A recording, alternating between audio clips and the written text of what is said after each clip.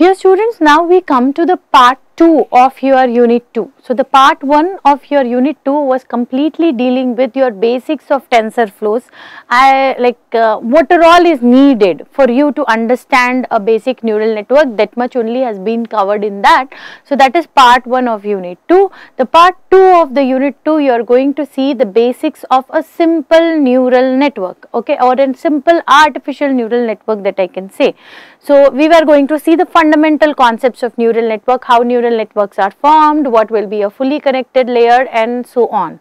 So, today's topic is on to the basic of neural network of how neural network was formed. So, before the neural network was formed, what was present? So, I already explained you about McCulloch-Pitts model in my previous classes.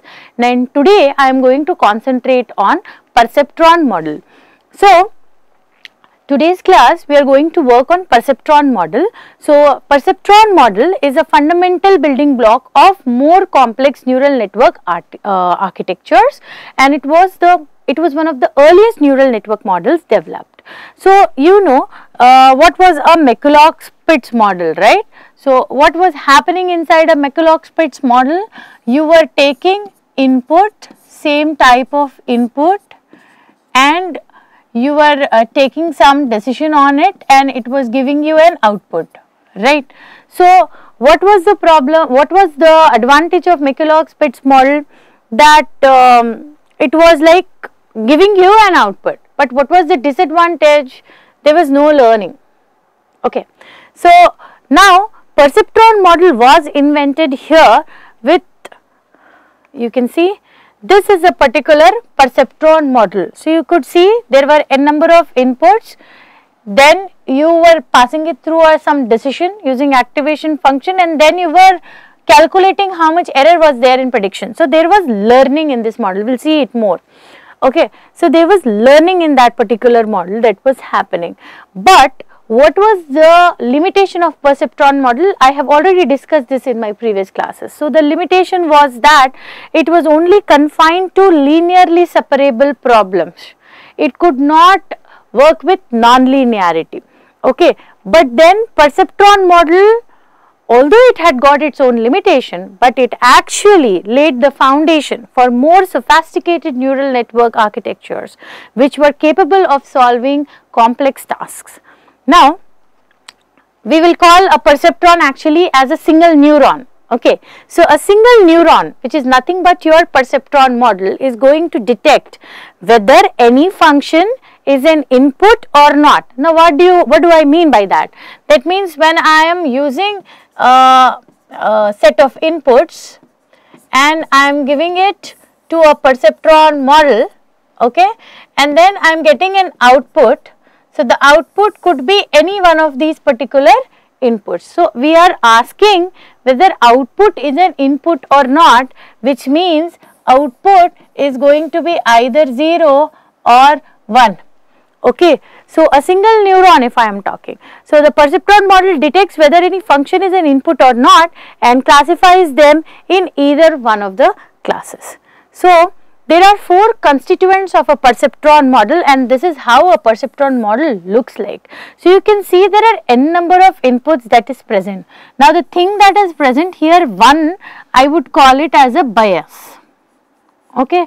So, bias is always a constant value and here that is why I have put it as 1 and um, why 1 because this W naught is actually a bias bias multiplied with 1 you will actually get only a bias value over here. So, here bias I am representing W naught in few textbook you can represent it as B whatever you like but you please remember bias is always a single value constant value. So, you can see here there are m number of inputs ranging from x1 to xm. You can prioritize these inputs by using suitable weights weights are given to impart priority to your particular input. Uh, so, you are using a set of weights here uh, alongside the corresponding inputs W1, W2 so on up till Wm. So, what you are going to do in a perceptron model is you will follow a linearity approach linear you know what is going to happen over here you will go for a weighted sum approach. So, every input has got a weight that will be multiplied and all of them will be added together. So there is a weighted sum or net sum input function that is one of the mathematical operation that you are performing over there. Once you are done with that you are going to take a decision on this weighted sum based on certain logic which is given to you by an activation function and then you are going to predict the output out of it. Not only you will predict the output but you will also learn that whatever weights that you have actually initialized with which is user defined are they actually correct or not. So, using the weights you will actually get an output but you do not know to what extent is this predicted output uh, correct compared to the what is uh, actual output right.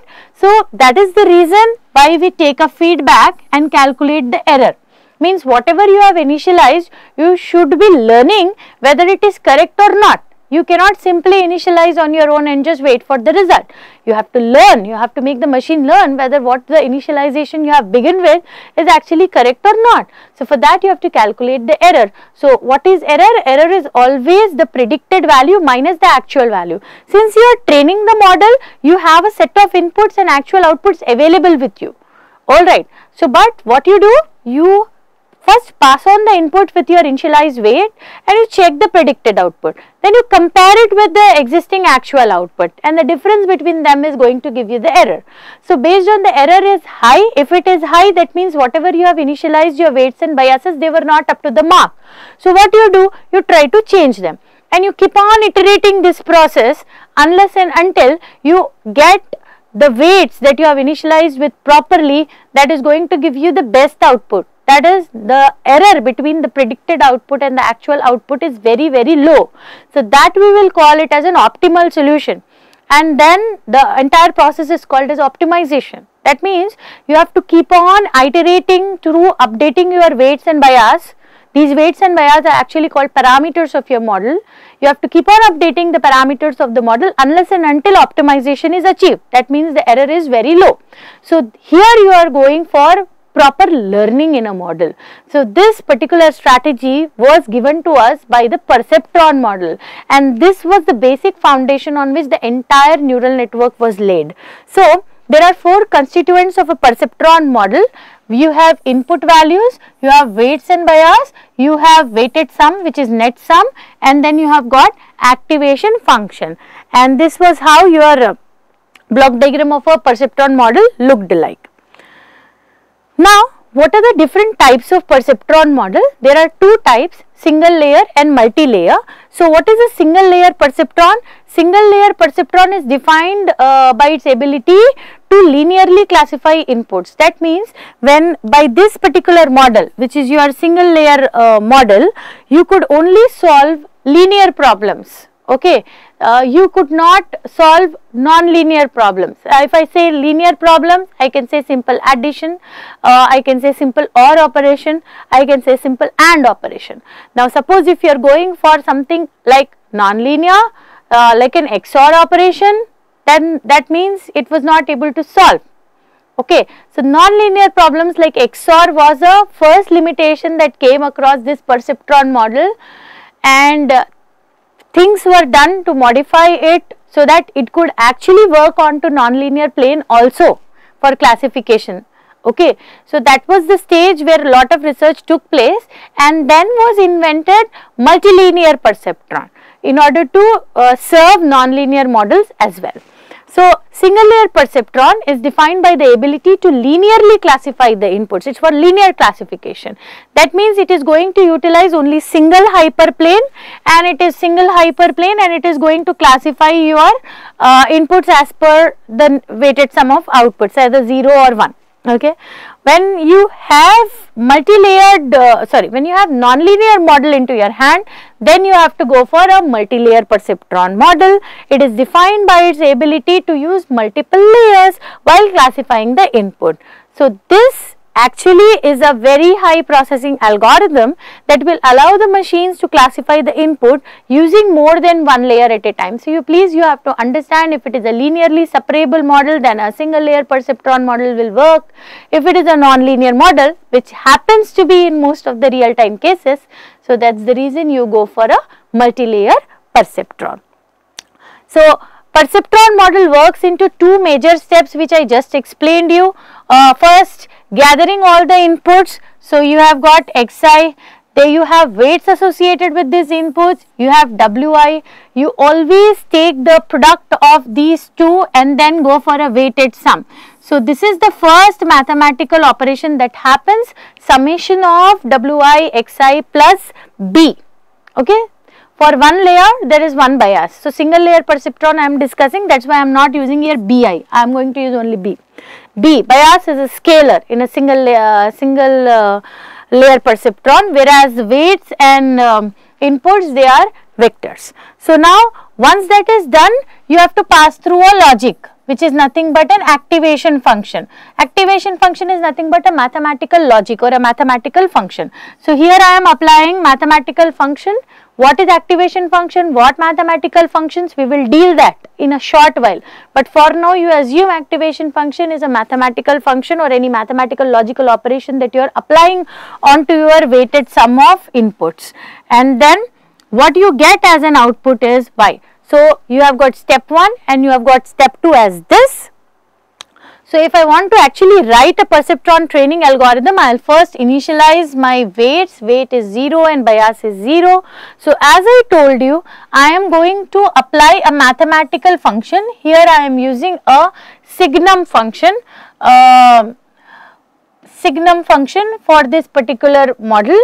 So, what I am get, uh, getting here is, see, both of them are vectors here or if I say mate, uh, if, if you have a vector then to perform vector wise operation of multiplication I have to use xi into weight transformed. Okay, one should be row another should be column vector and then I apply a signum function as a mathematical function over here and then I calculate the output. I am not only just calculating the output but I am supposed to upgrade my weights based on the learning process. So, what I am doing here how slow or how fast I am learning is determined by my rate of learning which is fixed here as eta. The general it should be very very low actually it is in the range of 0 to 1 it is the hyperparameter actually that means indirectly it is affecting your model how fast or how slow you are uh, learning. So, that is a hyperparameter. So, you want to update your weights. So, what I am going to do is I am going to use xi, yi and a, a hyperparameter learning rate and I am going to upgrade it. See actually speaking you will study all these things in detail One, I, once I go for a neural network model and I already taught you gradient descent. So, in that I have in depth spoken to you. So, here actually I have used a plus. Suppose if I am used uh, this uh, gradient descent as an optimization then I am supposed to use a minus okay. So, here you here I have not given any strategy for optimization I am just here bothered only to how do you upgrade the weight. So, that is the reason it is a very lame algorithm that I am presenting here okay. So, you update your weights and bias as per your requirement and you keep on iterating it until you reach the required number of steps and then as an output what you get is an optimized weights and biases and for which you think that your model gives you the better result. So, that was about simple steps that happen inside a perceptron model. I have not used any optimization gradient descent. It is a very simple algorithm that is being built for your understanding. So, this is how a perceptron training model works. Now, as I told you the previous algorithm or perceptron single layer was only applicable to uh, linear uh, models. If you have non-linearity coming into picture then definitely you have to go for multi-layer uh, perceptron. So, inside a multi-layer perceptron you will be using several layers of single layer perceptron. You have got an input layer, then you have got inside a hidden layer and then finally you will have an output layer. So, this we are going to see more in detail in our upcoming topics. So, this was about perceptron model. You have seen very clearly what is single layer perceptron and multi-layer perceptron.